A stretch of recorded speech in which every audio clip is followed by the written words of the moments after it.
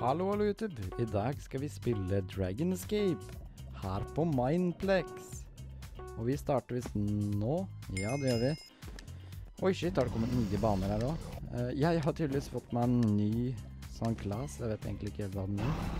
Uh, men det finner vi for så vidt sikkert ut av. Jeg Tror det er sånn at TNT ja, Oi. TNT-en gjør så det sprenger og kommer opp eller noe sånt. Jeg glemte faktisk at vann er farlig her på den serien, her, så det er litt sånn skummelt. Uh, jeg tror ikke jeg ligger så veldig bra an heller. Kan jeg ikke gjøre. Hvor skal jeg nå? Oh! Der tror jeg vi døde, ja. Der tror jeg vi døde. det gikk fort. Det gikk veldig fort. Men jeg ser dere i en ny runde, folkens. Da er det på tide med en ny runde med drage... Oi, nå forsvant faktisk den dumme Hva heter det? Eselet? Dumme eselet. Er det, er, det, er, det, er det her en bane jeg ikke spurte om? Er det her en veien jeg skal løpe? Er, det er dragen. Ok, ja. Jeg tror det er den veien her. Vi får i hvert fall håpe det. Seriøst, tuller du med meg nå? Vi ses i neste runde, vi, folkens, for det her går jo faktisk ikke an. Da starter vi en ny runde, folkens. Eh, Får håpe at det går bedre enn forrige runde, da, for den gikk jo veldig, veldig tregt. Eh, der er dragen. Let's run. Jeg pleier vanligvis ikke å være dårlig i parkour på, på Minecraft heller, men uh, i dag så har det tydeligvis ikke gått. Se der. Nå gjør vi vel igjen.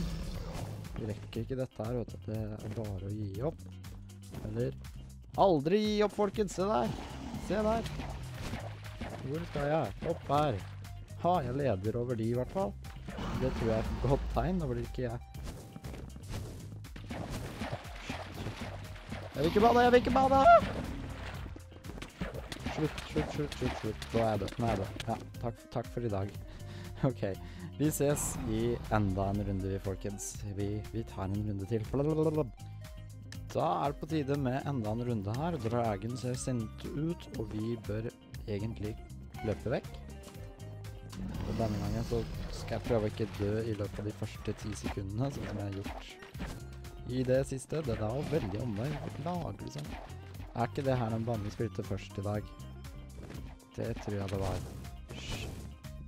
Jeg vil ikke dø. Slutt å Jeg skal ned der. OK, si det. Det var veldig sånn uoversiktlig og stygg bane. Eh, Nei, jeg rakk ikke opp. Nei, nei, nei. Ja, men da er det bare å gi opp, da, folkens. Dette har vært Dragon Escape. Husk å trykke liker, og trykk abonner om du ikke har gjort det. Så snakkes vi selvfølgelig i neste episode av et, eller annet som jeg spiller på kanalen. Vi snakkes. Ha det bra.